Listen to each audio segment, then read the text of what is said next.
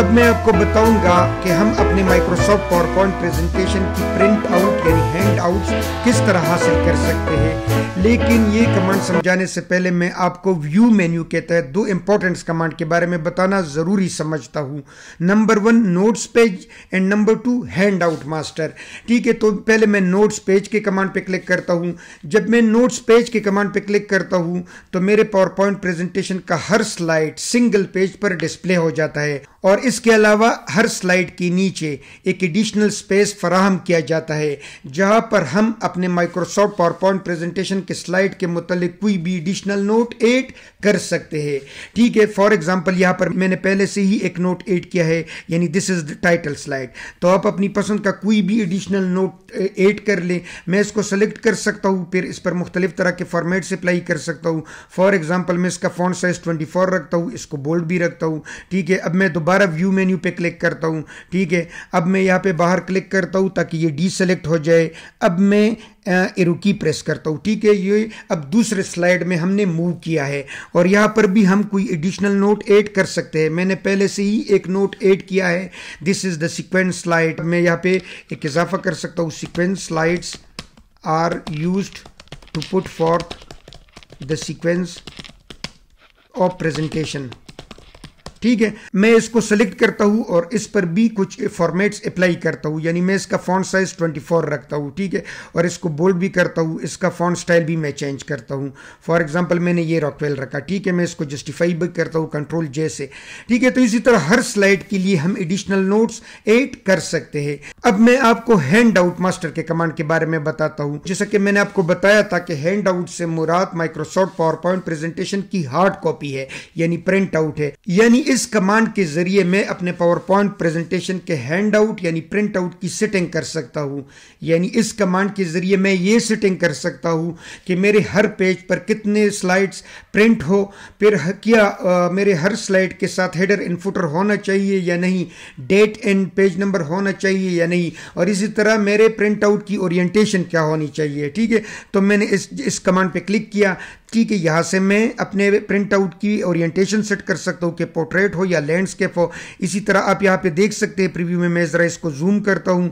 ठीक है? ये देखिए, यहाँ पर हेडर और डेट भी डिस्प्ले हो रहा है और बॉटम में फुटर और पेज नंबर के लिए भी स्पेस डिस्प्ले हो रहा है। ठीक है? तो यहाँ से मैं इसको चेक या अनचेक कर सकता हूँ। अगर मैं इसको अनचेक करता हूँ तो अब देखिए ये हेडर डिसपियर हो गया। मैं इसको दोबारा चेक करता हूँ। इसी तरह मैं फुटर डेट और पेज नंबर को भी डिस्प्ले और डिसपियर कर सकता हूँ through checking and unchecking of these check boxes ठीक है तो सपोज़ मैंने ये हेडर एड किया।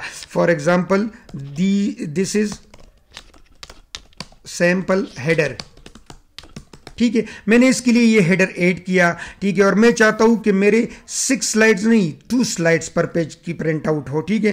तो आप देख सकते हैं यहाँ पे, ये मुझे अभी प्रीव्यू में दिखा रहा है कि मेरे हर पेज पर दो स्लाइड्स प्रिंट हो गए। उसमें एक हेडर भी होगा डेट भी होगा, ठीक है पेज नंबर भी होगा, ये ऑटोमेटिकली ऐड हो जाता है और फुटर में ऐड नहीं करता।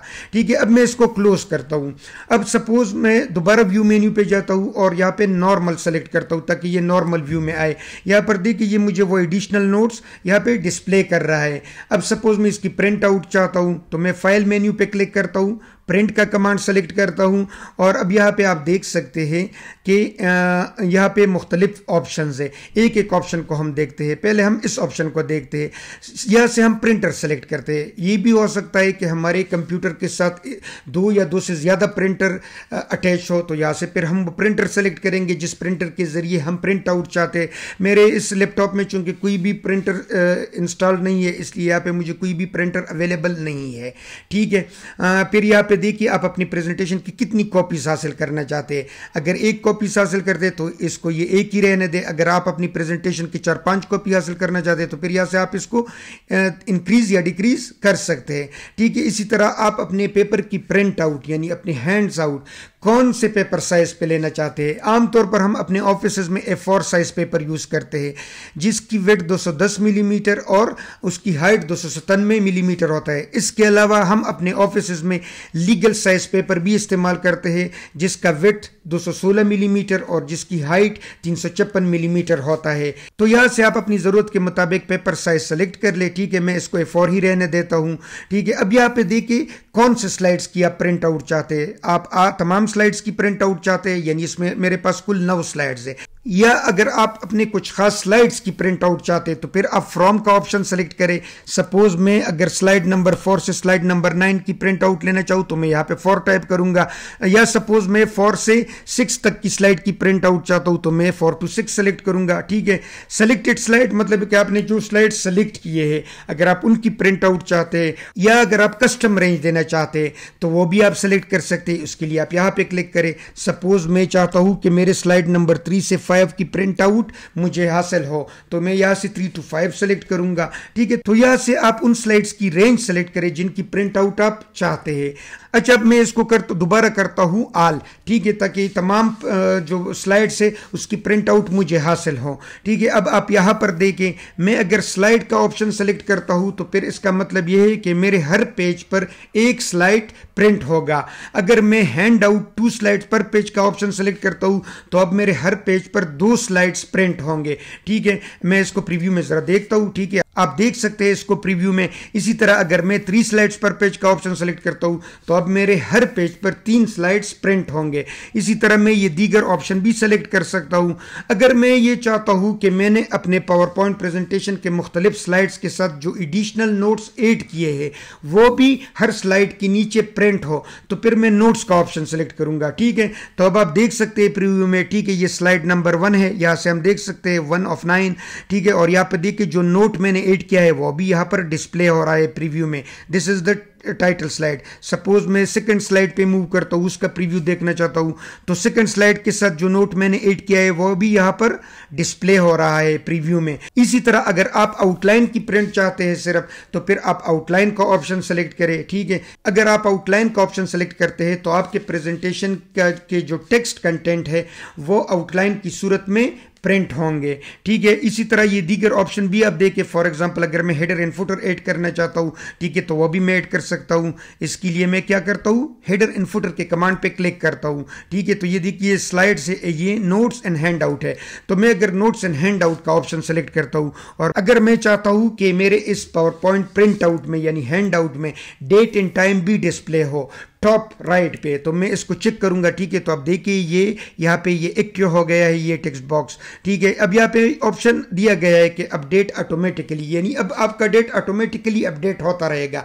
आप जिस डेट को प्रिंट आउट लेंगे तो वही डेट इस पर प्रिंट होगा। लेकिन अगर आप चाहते हैं कि नहीं, मुझे अपडेट ऑटोमेटिकली वाला ऑप्शन नहीं चाहिए, बल्कि मैं एक ऐसा फिक्स डेट देना चाहता हूँ कि फिर मैं जिस डेट को भी अपनी प्रेजेंटेशन प्रिंट करूँ, वही डेट यहाँ पर डिस्प्ले हो। तो फिर मैं फिक्स का ऑप्शन सेलेक्ट करूँगा, यहाँ से मैं वो डेट इंसर करूँगा जो मैं चाहता हूँ कि वो डिस्प्ले हो। मैं इसको अपडेट ऑटोमेटिकली ही रखता हूँ, ठीक है? सपोज़ मैं एक हेडर और फुटर भी एड करना चाहता हूँ तो फिर मैं यहाँ हेडर के कमांड पे क्लिक करूँगा। अब देखिए हेडर यहाँ पर डिस्प्ले होगा, ये टेक्स्ट टेक्स्ट बॉक्स एक्टिव हो गया है। यहाँ पर मैं एक हेडर ऐड कर सकता हूँ। For example this is header इसी तरह अगर मैं फुटर ऐड करना चाहूँ तो फिर मैं फुटर के ऑप्शन पर क्लिक करूँगा। ठीक है? अब ये देखिए फुटर वाला टेक्स्ट बॉक्स भी एक्टिवेट हो गया है। यहाँ पर मैं फुटर एड कर सकता हूँ। सपोज़ मैं एड करता हूँ दिस इज़ फुटर ठीक है? इसी तरह पेज नंबर आपको चाहिए अपने पेज पे या नहीं? ठीक है यहाँ पे पेज नंबर डिस्प्ले होता है। अगर मैं नहीं चाहता कि पेज नंबर डिस्प्ले हो तो मैं इसको अनचेक करूँगा। अगर मैं चाहता हूँ कि नहीं, पेज नंबर भी आना चाहिए हर पेज पर तो फिर मैं ये पेज नंबर वाला ऑप्शन भी चेक करूँगा और इसी तरह मैं अप्लाई टू ऑल करूँगा।